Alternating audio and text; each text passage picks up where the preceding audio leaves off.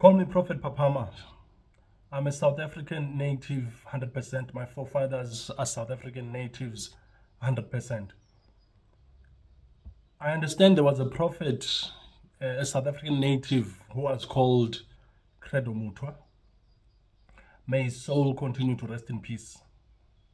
Credo Mutwa, from my understanding and from what I can see even on the internet, is that he was a prophet who was called, truly called. Why I say that it's because the prophecies that he used to dish out or prophesy about most did come to pass.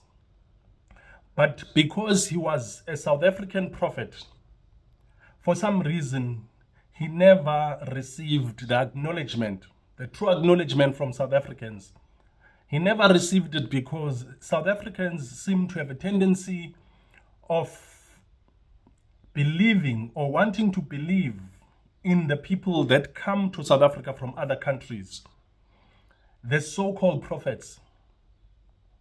Let me tell you something this is spiritual. Credo Mutwa was a true prophet. Why? Because now what's happening is that a lot of the people, when they see his videos, they start saying, This is what he foresaw. This is what Credo Mutwa was talking about because some of his prophecies are happening today. Look at what is happening in the country with the current government under our current president. A lot of things, chaos in South Africa. And Credo Mutwa foresaw that. I'm giving Credo Mutwa his flowers. Even if he's gone, he still deserves it. I am one prophet also from South Africa, a native called anointed by God, anointed by Madlozi, my ancestors. But I know that a lot of people will bash me. A lot of people won't believe in me because I'm a prophet of this town. I'm a prophet of this country. Rather, people will go to other prophets who come into South Africa because they want money, who come into South Africa because they know that South Africans believe in God and they can do anything to find the God that they seek. South Africans are true worshippers. South Africans truly love God. That's why South Africa is so blessed. South Africans are not liars. They stand for what they believe in and they believe in God, just like me. So I'm saying, South Africans, try to learn to understand that you've got your own prophets in your country who are destined to help and save South Africa from the chaos that's happening because the people who come from outside are wolves mostly. Wolves in sheepskin. They are here for the pests, your pests, your monies. That's why their churches are always talking about tithing all the time, talking about giving, giving, giving to them. They take until you don't have. God is not a God of poor people. God is not a God of people who are struggling financially. Why isn't God giving these prophets money miraculously? No, they take your money. But let's leave it there. This video is about this. Okay, let me touch this one quickly. South Africans don't believe in South Africans, and this must change for South Africa to prosper properly. God is with South Africa, God is blessing South Africa, but God is asking for South Africans to start believing, loving, and supporting each other.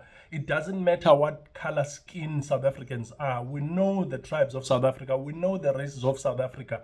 Let's support each other even going to the people that come illegal in the country and owning spaza shops, I mean, that's a crime. But the government is allowing it to happen. And these people are coming to suffocate people in South Africa in their locations, in their villages, in their towns, in their cities, taking whatever little bread that God is offering the South Africans, taking it for themselves by opening illegal spaza shops. And they are also illegal, these people, mind you.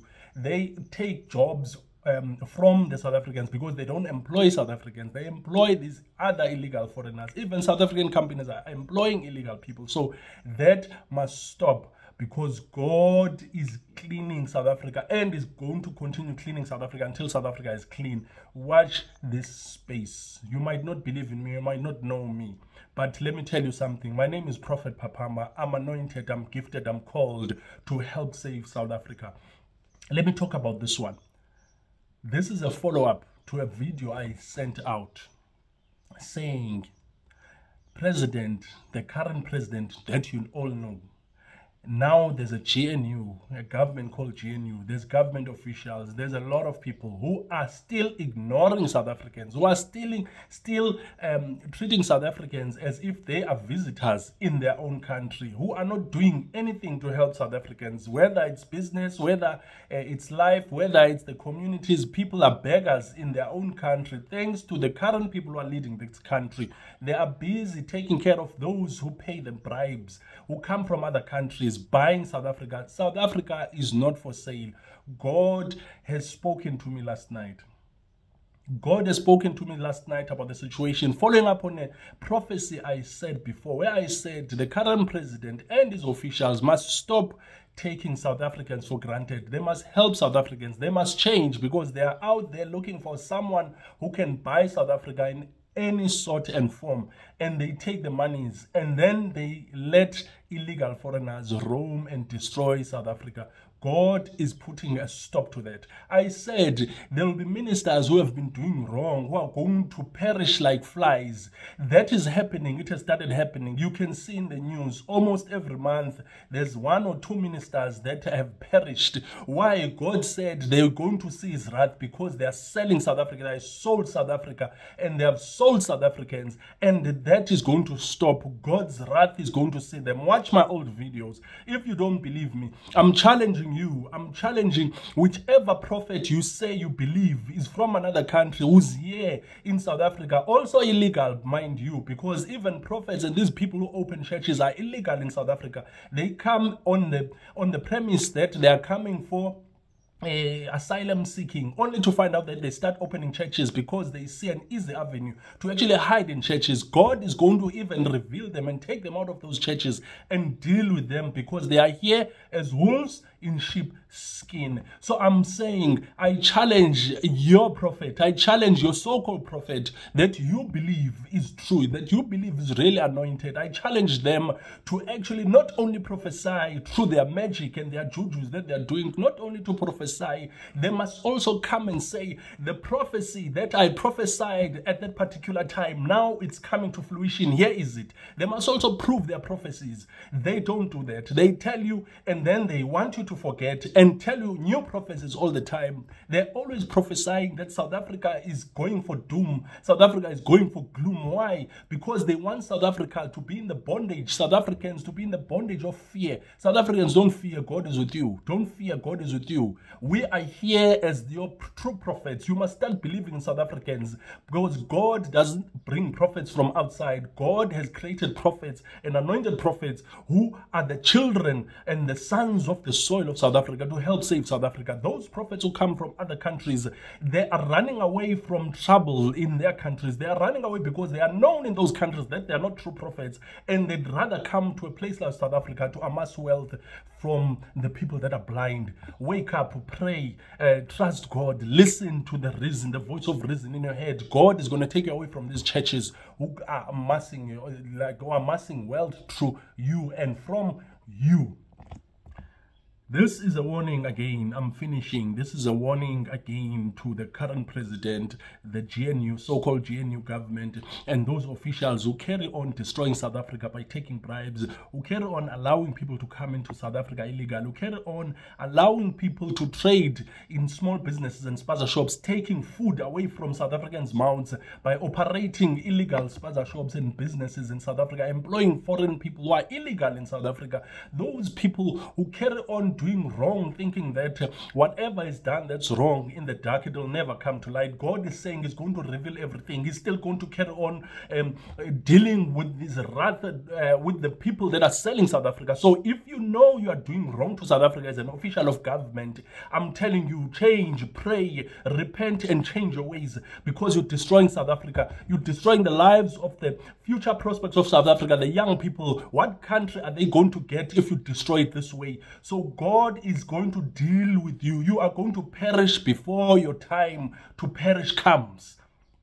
That it wasn't happening now. The ones who are perishing now are the ones that have sold South Africa. And God is saying He's going to destroy them one by one, one by one. The one who's leading this country is not going to be destroyed because, firstly, whatever he's doing wrong in the dark, which seems to be many, are going to be revealed and is going to be embarrassed. God is going to showcase whatever is done in the dark first before He deals with him. So, watch this space I'm a true prophet of South Africa.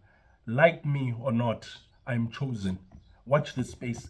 I say a prophecy and I stand by it. Last night I prayed, asking God to stop the rain at 11 o'clock at night. When I woke up, it was raining heavy in the Eastern Cape. I said, God, please stop this damaging rain. I'm telling you, within five minutes of my prayer, the rain stopped. The next day, it's warm, there's sun outside, there's just a minor rain here and there, but it stopped. The flood stopped. I talked about this prophecy before this heavy rain started. Watch my older videos. Beginning of October, I said I see heavy rains and overflows of rivers and damaging rains in South Africa.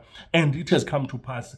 A year ago, I said before Jacob Zuma received the support, when Jacob Zuma was still in trouble with no one supporting him, I said in my prophecies, watch my older videos, I said I see Jacob Zuma being supported by people that he even never thought that will ever support him he's got a growing party, a godly party, a party that's going to take over the reins in South Africa very soon because God is with that party. That party is the true patriots of South Africa who are going to save South Africa. So I'm saying to you, change your ways, leaders of South Africa, because your wrath is going to meet you before you know it.